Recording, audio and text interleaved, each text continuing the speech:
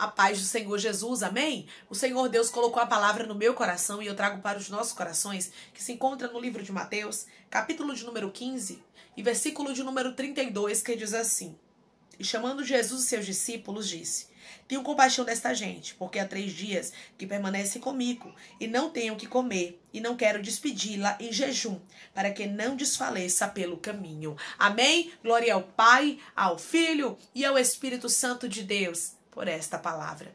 Quando a gente lê esta palavra, nós observamos o quanto Jesus se importa conosco nos mínimos detalhes. Jesus não se importava somente com aquela multidão de gentios que estava ali para curá-los, para libertá-los, não. Jesus queria também suprir a necessidade deles, porque Jesus sabia que eles estavam ali há três dias e que eles estavam com fome, e Jesus se preocupava com também o físico deles, para que eles não desfalecessem no caminho. Eu vou te dizer algo da parte de Deus através dessa palavra. Jesus se importa contigo nos mínimos detalhes. Já inicie declarando comigo: Jesus se importa comigo em todos os detalhes. Jesus se importa comigo em todos os detalhes. Não tem nada na sua vida, meu irmão. Não tem nada na sua vida, minha irmã, que Jesus não se importe com você. Que Jesus, aleluia, não olhe para você com um olhar de compaixão e de misericórdia. Porque Jesus não tinha obrigação aqui de dar alimento para aquela multidão. Mas Jesus olhou com um olhar de compaixão, decai de rastura mandarai. Jesus não vai dizer para os discípulos: Eu tenho obrigação de dar alimento para eles, não. Jesus diz: Eu tenho compaixão, porque Jesus não tem obrigação nenhuma com a gente, não, meu irmão e minha irmã. Mas ele tem compaixão de nós, arabaramandaracandaраsto. Ele olha para nós como ele olhou para essa multidão de gentios aqui. E ele disse: Eu tenho compaixão deles. E Jesus sabe que se ele não fizer alguns milagres na sua vida, ele te despedir de mãos vazias, você vai desfalecer no caminho. Meu irmão e minha irmã, eu vou dizer algo da parte de Deus para você. Jesus conhece a sua estrutura e ele sabe o quanto você suporta. Ele sabe o quanto você aguenta. Ele sabia que aquela multidão ali poderia aguentar três dias sem se alimentar, mas que ele não podia despedir aquela multidão sem comer, porque senão eles iam desfalecer.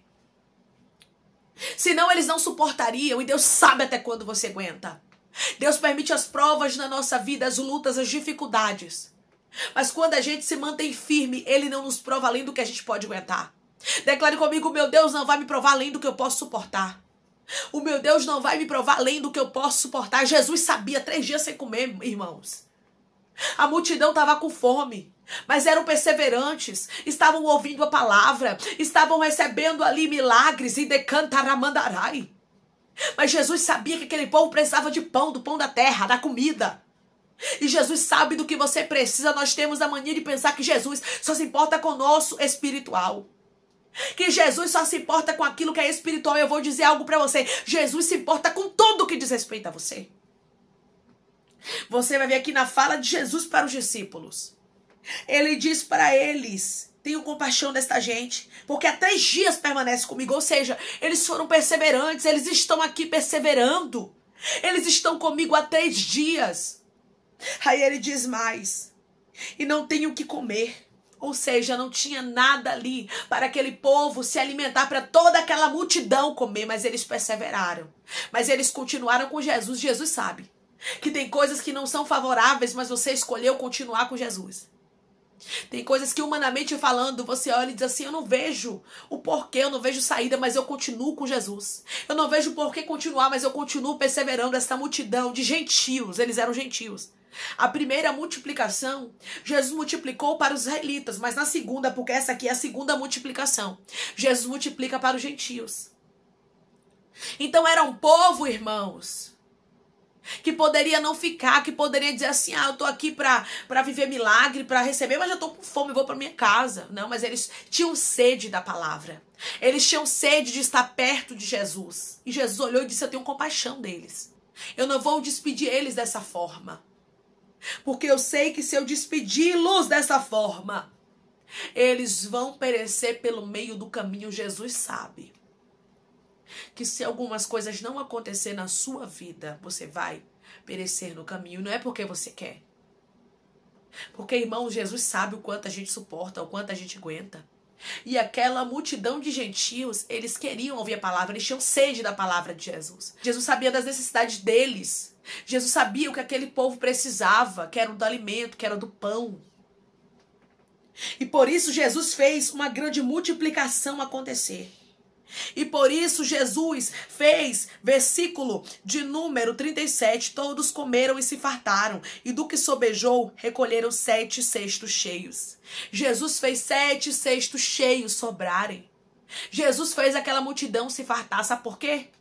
Porque eles foram fiéis, perseverantes, ficaram com Jesus até o final. Ficaram com Jesus mesmo quando, humanamente falando, humanamente falando, não tinha pão ali para eles, não tinha um alimento, ou seja, não tinha nada favorável, humanamente falando, para eles estarem ali. Mas eles preferiram ficar com aquilo que é espiritual. Todas as vezes que eu busco, em primeiro lugar, o reino de Deus e a sua justiça, as demais coisas, e caixarabaramandarás serão acrescentadas. E é isso que Deus está dizendo para você. Eu vou acrescentar na sua vida as demais coisas. Arabaramandarasto.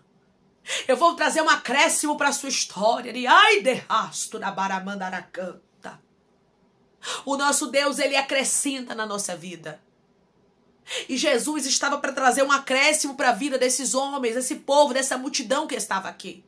E Jesus te trouxe aqui para te dizer que Ele está para trazer um acréscimo para sua vida, porque você tem buscado, em primeiro lugar, o reino dele. Ele não vai deixar você desfalecer, mas Ele vai te fazer ver milagre. Porque você aprendeu que não se serve ao Senhor pelo que Ele pode fazer, e sim por quem Ele é.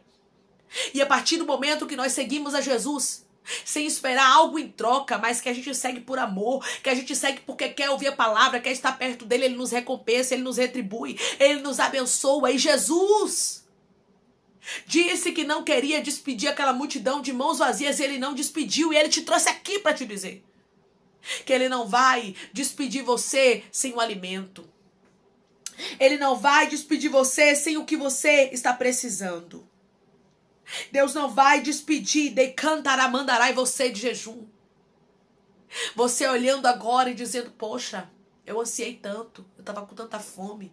Eu até me alimentei da palavra, mas agora eu preciso da resposta e a resposta não chegou. E aí você vai pelo caminho e vai perecendo. Por quê? Porque você precisa do combustível. Você precisa do alimento e Deus sabe do que você necessita. Deus trouxe pessoas aqui para te falar: eu sei do que você necessita. Eu sei do que você precisa. Talvez você tenha necessitado de uma cura, de uma libertação, de uma restauração, de uma restituição, eu não sei. Mas o Senhor me trouxe aqui para te falar que, como Ele não despediu essa multidão de gentios, de mãos vazias, Ele não vai despedir você. Deus se importa com você.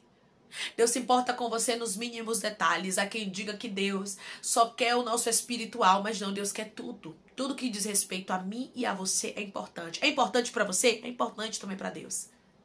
Deus se importa com seus filhos, Deus se importa com seu esposo, Deus se importa com a sua vida financeira, Deus se importa com seu casamento, Deus se importa com as suas finanças, Deus se importa com a sua saúde, Deus se importa com o ministério que você tem, que ele confiou a você, Deus se importa com tudo. Aí você pode dizer, irmão, mas se Deus se importa com tudo, por que eu estou passando tantas lutas? É porque depois, irmãos, das lutas vem a resposta. Depois de três dias sem comer o pão, o povo ia receber de Jesus uma abundância, de uma provisão abundante. Deus permite a prova, mas Ele também nos aprova. Declare comigo: o mesmo Deus que permitiu a prova na minha vida vai me aprovar. O mesmo Deus que permitiu a prova na minha vida vai me aprovar. Jesus teve compaixão daquela multidão de gentios e ele tem compaixão de você. Jesus hoje está olhando para você e está dizendo: Eu tenho compaixão dela. Eu sei que ela tem permanecido fiel. Eu sei que ele tem permanecido fiel e eu tenho compaixão dele. Eu sei que muitos poderiam ter me abandonado, passando o que ela está passando, passando o que ela está passando, mas ele ela resolveu ser fiel e ficar até o fim. Deikai charamandarai. Quando nós perseveramos, o Senhor nos recompensa, o Senhor nos retribui. Declare comigo: eu resolvi perseverar e Deus vai me recompensar. Eu resolvi perseverar e Deus vai me recompensar. Deus tem retribuição. Pra gente que continuou firme, pra gente que perseverou naquilo que Deus ordenou. Porque esta multidão aqui não estava esperando pão de caixarabaramandarai. Mas eles estavam se alimentando do que era espiritual e Jesus mesmo providenciou pão para eles. Não foram eles que pediram, mas Jesus que disse: Eu tenho compaixão, eu não quero despedir eles em jejum. E foi Jesus que fez o milagre acontecer, porque Jesus se importa conosco nos mínimos detalhes. Jesus sabe o que eu, o que você precisa. Jesus conhece as nossas necessidades, os nossos anseios, as nossos nossos medos, as nossas frustrações. E ele não nos deixa sem resposta. Essa palavra é uma resposta de Deus para pessoas que estão pensando que Deus vai te despedir de mãos vazias. Para pessoas que estão pensando que Deus vai te despedir em jejum, decai de rastura mandarai. Que Deus não vai lhe dar uma resposta. Que Deus vai deixar você perecer no meio do caminho. Deus está dizendo: não, eu me importo com você e eu sei que se algumas coisas não acontecer na sua vida, você vai desfalecer. E eu me importo tanto contigo que eu não vou te despedir em jejum. Eu me importo tanto contigo que eu estou fazendo uma multiplicação acontecer na sua vida. E o milagre está chegando que vai cai de rastura, mandará te fortalecer. Declare comigo, meu Deus está mandando um milagre para minha vida que vai me fortalecer. O meu Deus está mandando um milagre para minha vida que vai me fortalecer. Depois de comer esse pão, essa fartura o povo agora estava farto, o povo agora estava forte, não somente fisicamente, mas também espiritualmente. Já haviam recebido o pão do céu, já haviam recebido a palavra de Jesus agora, estavam sendo fortalecidos fisicamente. Não houve área na vida desta multidão de gentios que não fosse fortalecida. E Deus manda te dizer que não há áreas na sua vida que não seja fortalecida, porque Deus está fortalecendo a sua vida por completo. Declare comigo, Deus está visitando todas as áreas da minha vida e fortalecendo. Deus está visitando todas as áreas da minha vida e fortalecendo. Deus fortalece todas as áreas da sua vida. Deus sabe, meu irmão e minha irmã, que você é constituído de corpo, alma e espírito. Você precisa se alimentar. Você precisa comer o pão. Você precisa também do alimento, da palavra, da oração, do jejum. Você precisa também da resposta. Você precisa também da esperança, da fé. E cai de mandarai. E o Senhor está dizendo: Eu conheço as tuas necessidades e eu vou providenciar aquilo que você precisa. Eu sei muito bem quais são as tuas necessidades. Eu te trouxe aqui para te falar que eu não vou te despedir desta forma. Mas eu vou glorificar o meu nome. Mas eu vou mostrar que eu sou Deus da tua vida. Você tem que buscar em primeiro lugar o reino de Deus e a sua justiça, e Deus vai trazer acréscimos para a sua história, porque esses pães, essa multiplicação aqui era acréscimo. O povo já tinha recebido a palavra. Mas Jesus não despediu eles em jejum. E foi isso que Jesus te trouxe aqui para te falar. Que ele tem feito milagres na sua vida, que você tem visto no espiritual muitos moveres acontecendo, mas tem coisas no físico que vão acontecer para assim fazer a sua fé ser fortalecida. Tem coisas no físico que vão acontecer de caixarabaramandarai. Para que você venha se fortalecer no Senhor. Declare comigo, eu creio que o meu Deus está me fortalecendo também no meu físico. Eu creio que o meu Deus está me fortalecendo também no meu físico. Deus se importa com você. Deus se importa com o seu corpo, com a sua alma e com o seu espírito. E por isso, ele traz a resposta que vai fortalecer não somente a sua fé, mas também o seu físico. Amém? Vamos orar em nome de Jesus. Vamos agradecer ao Senhor Deus por essa palavra. Com a resposta que pessoas aqui vão receber, até a mente de pessoas será fortalecida. Coloque seu pedido de oração aqui nos comentários, que vamos orar por você. E você que quer aceitar Jesus ou se reconciliar com Jesus, também coloque aqui nos comentários que nós vamos orar por sua vida. Amém? Vamos orar em nome de Jesus. Maravilhoso Deus, soberano e eterno Pai, aqui estamos, Senhor Senhor, para te agradecer, Deus, por esta palavra. Te agradecer, Pai, porque o Senhor se importa conosco nos mínimos detalhes, Senhor. Obrigada.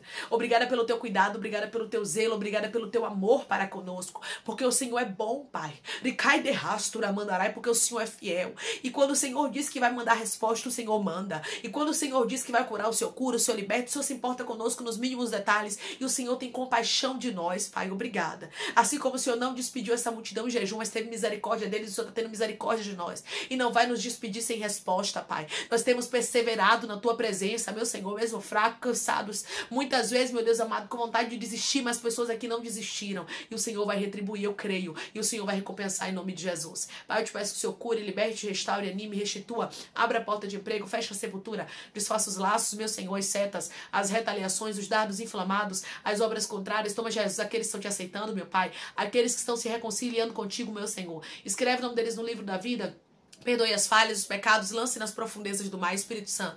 Vai dando direção à vida história, onde devem congregar, porque são teus, Jesus. São ovelhas do teu pasto. Obrigada por cada alma que tem se rendido a ti. Dá uma novidade de vida para eles, Pai. Dá uma nova história, que eles entendam que as coisas velhas se passaram e eis que tudo se fez novo. Pai, eu te peço também que, em nome do teu filho amado Jesus, o Senhor tome cada pedido de oração aqui nos comentários. Eu não conheço a necessidade, mas o Senhor conhece. Eu intercero e te peço que essa resposta, que essa cura, que essa libertação, que essa restauração, que essa causa, meu Deus amado, venha ser ganha, que essa assinatura venha acontecer, que se seja tudo para a glória do teu nome, da milagre, da resposta para o teu povo contar, da testemunho, meu Deus. Assim eu te peço, te agradeço, crendo na nossa vitória, em nome do teu filho amado Jesus Cristo. Amém.